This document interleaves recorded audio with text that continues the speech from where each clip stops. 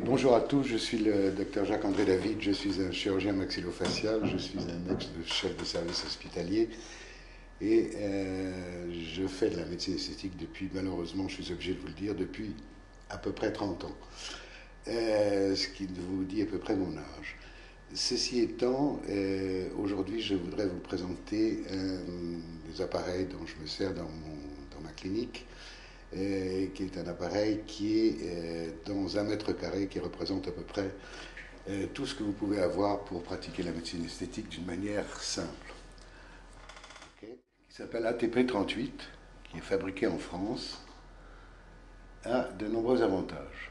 Le premier avantage, bien évidemment, c'est de nous permettre de traiter un certain nombre de pathologies grâce à LLT, Light Emitting Diodes. Mais il combine dans moins d'un mètre carré, comme je le disais, beaucoup, beaucoup de techniques. Ces techniques, nous allons les énumérer très rapidement. Il y a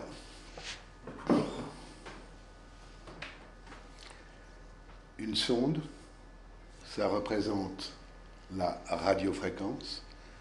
Ceci est une radiofréquence monopolaire qui peut vous choquer, mais une, monopolaire très particulière, puisqu'elle est brevetée et qu'elle a, on va dire, comme un radar et qui permet d'arrêter dès qu'elle arrive en contact d'un organe creux ou de, de l'écho trop fort. Nous avons dans cette machine combiné aussi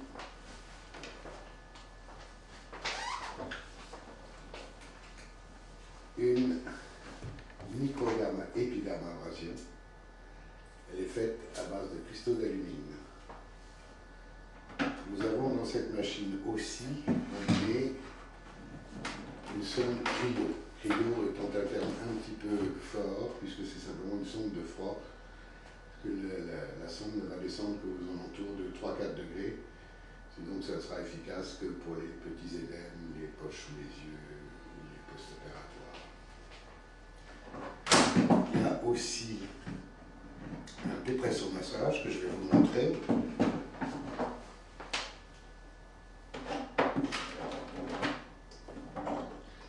Donc voilà une des têtes. Ceci est la tête pour le corps. Vous avez une tête plus petite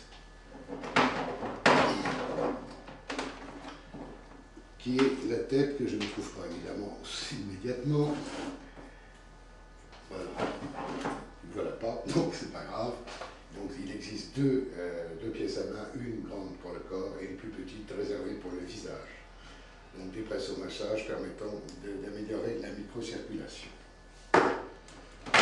vous avez enfin un stylet laser. Voilà, stylet laser qui va nous permettre de retrouver les points d'énergie et pour les gens spécialisés de retrouver